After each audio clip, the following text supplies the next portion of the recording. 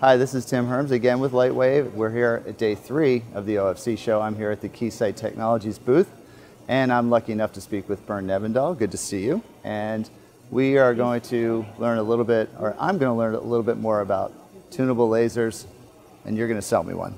Yeah. So what is a tunable laser? A tunable laser is a light wave oscillator where you can change the wavelength or the frequency or the color, as we call it sometimes. And uh, to make a tunable laser, you basically need two things. That's first an amplifier or gain medium, and secondly a resonator. And inside the resonator, there's a grating and a mirror. And to control the tunable laser or to tune the wavelengths, you need to move the mirror. Now what do the customers do with those uh, tunable lasers?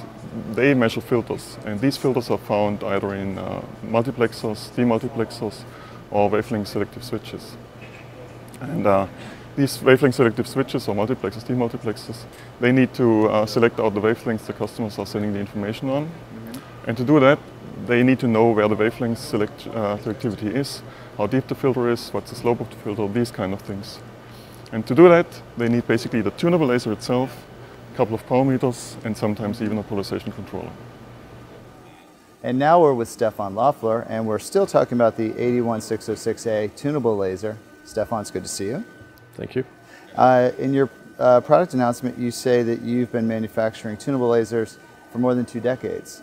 How does the new laser compare to the current products that you have? The new 81606A tunable laser is reaching a new level of accuracy, both in static mode as well as in swept mode up to 200 nanometers per second. And this is made possible by a built-in wavelength reference unit, which gives us real-time feedback and a very high resolution on the wavelength readings. What you see here is the measurement of a acetylene cell um, done at 200 nanometers per second.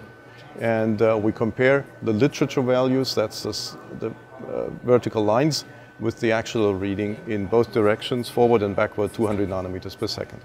Most important question, of course, is how do these advances in the new tunable laser affect the customer experience? Well, researchers and developers will simply love the performance of the device. They get four times more accuracy out of it compared to the previous model. And we can do measurements at 40 times more speed at the same accuracy level compared to the previous one.